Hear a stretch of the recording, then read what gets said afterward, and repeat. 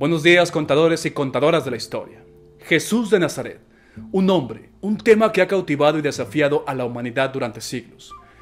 Hoy exploraremos no solo los relatos bíblicos, sino también las interpretaciones teológicas, controversias históricas y las diversas percepciones de Jesús en diferentes tradiciones religiosas y culturales. Hoy, en la historia que no te cuentan, las cinco controversias más grandes alrededor de Jesús de Nazaret. Críticas históricas. Las críticas históricas a los relatos sobre la vida de Jesús se centran principalmente en la fiabilidad y la historicidad de los evangelios y otras fuentes bíblicas que describen su vida, enseñanzas, milagros, muerte y resurrección. Estas críticas se dividen en varias áreas clave inconsistencias entre los evangelios. Los evangelios de Mateo, Marcos, Lucas y Juan ofrecen relatos a menudo inconsistentes sobre los eventos clave en la vida de Jesús. Por ejemplo, discrepancias en los detalles de su genealogía, nacimiento, enseñanzas y resurrección han llevado a preguntas sobre la fiabilidad histórica de estos relatos. La crítica textual de los textos bíblicos también ha planteado preguntas sobre la exactitud de los relatos sobre Jesús varias versiones y traducciones de los evangelios, así como la presencia de variantes textuales y adiciones posteriores, han generado debates sobre cuáles son las versiones más fieles a los textos originales contraste con la evidencia arqueológica y cultural, algunos hallazgos arqueológicos y evidencia cultural de la época de Jesús han generado preguntas sobre la precisión de ciertos detalles en los relatos bíblicos.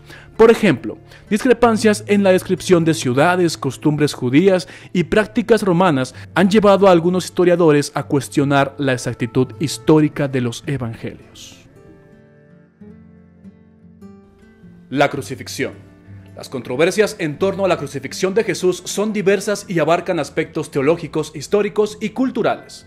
En lo teológico, la crucifixión de Jesús es un evento central en la teología cristiana, considerado como un acto redentor que expía los pecados de la humanidad. Sin embargo, ha habido debates sobre el significado preciso de la crucifixión, incluyendo si fue un sacrificio vicario, un acto de amor divino o una manifestación del sufrimiento humano. A nivel histórico ha habido controversias sobre los detalles precisos de la crucifixión de Jesús. Algunos estudiosos han cuestionado la historicidad de ciertos aspectos del relato bíblico, como la participación de Pilatos en el juicio de Jesús, la fecha exacta de la crucifixión y los detalles de la crucifixión misma, como la duración del sufrimiento de Jesús en la cruz, que fue muy poco. Diferentes tradiciones teológicas han interpretado la crucifixión de Jesús de manera diferente. Por ejemplo, la teología de la sustitución sostiene que Jesús murió en lugar de la humanidad, mientras que otras teologías enfatizan el significado del sufrimiento de Jesús como un acto de solidaridad con los oprimidos y marginados. La crucifixión y muerte de Jesús ha tenido un impacto duradero en la historia y la cultura occidental, pero también ha sido objeto de interpretaciones y representaciones diversas a lo largo del tiempo desde las primeras representaciones artísticas de la crucifixión hasta las interpretaciones contemporáneas en la literatura, el arte y el cine, Jesucristo Superestrella, por ejemplo. La crucifixión de Jesús ha sido objeto de debate y controversia en la cultura popular y académica y por supuesto ya forma parte del marketing. Disputas teológicas. Las doctrinas cristológicas, como el nestorianismo, el monofisismo, el cristianismo ortodoxo, han generado una serie de controversias a lo largo de la historia del cristianismo. Estas interpretaciones divergentes se centran en la naturaleza de Jesús y su relación con la divinidad y la humanidad. Por ejemplo, el nestorianismo promovido por Nestorio, obispo de Constantinopla en el siglo V, sostiene que Jesucristo existió como dos personas separadas, una divina y otra humana, esta idea fue considerada herética por muchos en la iglesia primitiva, ya que socavaba la idea de la unidad de la persona de Jesús. Por otro lado, el monofisismo asociado con Eutiques y el concilio de Efeso en el siglo V enseña que Jesucristo tenía una sola naturaleza divina en lugar de dos naturalezas, divina y humana, como sostiene la doctrina ortodoxa. Esta controversia resultó de divisiones significativas dentro de la Iglesia y llevó a un conflicto teológico prolongado sobre la comprensión de la persona de Jesús. Estas disputas teológicas llevaron a la convocatoria de concilios ecuménicos, como el concilio de Nicea en el 325 y el concilio de Calcedonia en el 451. Estos concilios reunieron a líderes y teólogos de toda la cristianidad para abordar y resolver las controversias doctrinales. Por ejemplo, el concilio de Nicea se convocó para abordar la controversia ariana sobre la naturaleza divina de Jesús, mientras que el concilio de Calcedonia se reunió para resolver las disputas sobre la relación entre las naturalezas divina y humana de Cristo. Las decisiones tomadas en estos concilios tuvieron un impacto en la comprensión del cristianismo sobre Jesús. Por ejemplo, el concilio de Nicea formuló el credo niceno, que afirmaba la divinidad de Jesucristo como consustancial al Padre, y el concilio de Calcedonia estableció la doctrina de la doble naturaleza de Cristo, es decir, que Jesús era completamente divino, sí, y completamente humano también. Estas decisiones ayudaron a establecer una ortodoxia teológica dentro del cristianismo y a sentar las bases para la doctrina cristológica en las diversas tradiciones cristianas. Finales alternativos. Existen diversas teorías alternativas sobre Jesús que desafían la narrativa tradicional cristiana sobre su vida y enseñanzas. Una de estas teorías es la llamada teoría del mito de Jesús la cual sostiene que Jesús fue una figura mitológica o simbólica, cuya historia fue influenciada por mitos y leyendas de otras religiones y culturas de la época. Según esta teoría, los relatos evangélicos sobre Jesús serían interpretados de manera no literal, sino como alegorías o símbolos de verdades espirituales más profundas. Esta teoría del mito de Jesús argumenta que muchos elementos de la vida de Jesús, como su nacimiento virginal, sus milagros, su resurrección, tienen paralelismos con mitos y leyendas de otras religiones antiguas, como ya lo hemos dicho, como los dioses solares de las religiones misteriosas y los relatos de héroes míticos. Además se señala que no existen registros contemporáneos a Jesús que confirmen su existencia histórica fuera de los textos bíblicos y algunos escritos tardíos de historiadores romanos o judíos, te recomiendo este video y armes tú tu conclusión.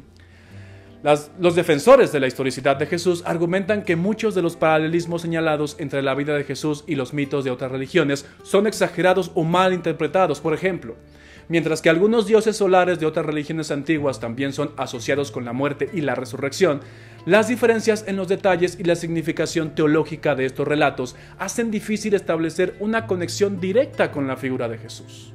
Tú tienes la última palabra. Jesús en diferentes culturas y religiones. La figura de Jesús ha sido percibida y reinterpretada de diferentes formas en diferentes tradiciones religiosas, lo que refleja la diversidad de creencias y prácticas en todo el mundo. En el Islam, Jesús es conocido como Isa en árabe. Es considerado uno de los principales profetas y mensajeros de Dios, aunque su papel y estatus difieren del cristianismo. Los musulmanes creen en su nacimiento virginal y en sus milagros, aunque rechazan la idea de su divinidad. En el Corán, Jesús es venerado como un ejemplo de humildad, piedad y devoción a Dios. En el judaísmo, Jesús no es considerado un personaje relevante en la fe judía, y su figura ha sido en gran medida ignorada o rechazada incluso. Aunque algunos judíos lo ven como un rabino carismático y reformista, muchos otros lo ven como un falso profeta o un agitador religioso que se apartó de la ley judía. La percepción de Jesús en el judaísmo ha sido influenciada en gran medida por las tensiones históricas entre judíos y cristianos. Somos hermanos, ¿no que no?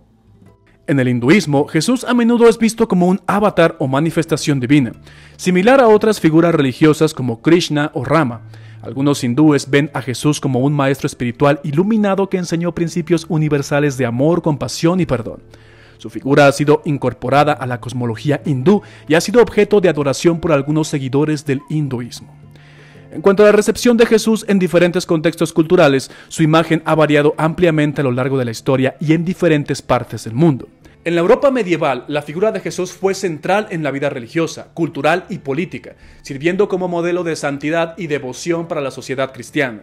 Su imagen fue representada en arte, literatura y música, y su influencia se extendió en todos los aspectos de la vida cotidiana. En el mundo globalizado de hoy en día, la recepción de Jesús varía según el contexto cultural y religioso. En algunos lugares su figura sigue siendo central en la fe y la práctica cristianas, mientras que en otros ha sido objeto de críticas y cuestionamientos por parte de diferentes grupos religiosos y seculares. Además, la globalización ha llevado a una mayor diversidad de interpretaciones y representaciones de Jesús, tanto dentro como fuera del cristianismo, reflejando la complejidad y la interconexión de la sociedad contemporánea. Jesús queda claro que su legado trasciende fronteras religiosas, culturales y de tiempo. A lo largo de toda la historia Jesús ha sido interpretado de múltiples maneras, como un profeta en el Islam, un personaje insignificante en el judaísmo y una figura divina en el cristianismo. Sus enseñanzas y su sacrificio en la cruz han inspirado a millones de personas en todo el mundo, independientemente de su fe o creencias. Y se los dice un no creyente en su divinidad. Si todos viviéramos bajo sus principios, o al menos algunos de ellos, todo sería mucho mejor. Yo soy Fernando Magaña. Si ya llegaste hasta este punto del video, por favor, deja un like o tal vez un dislike si no te gustó. Suscríbete si no lo has hecho, que tal vez. Aquí nos veamos en la próxima. Adiós.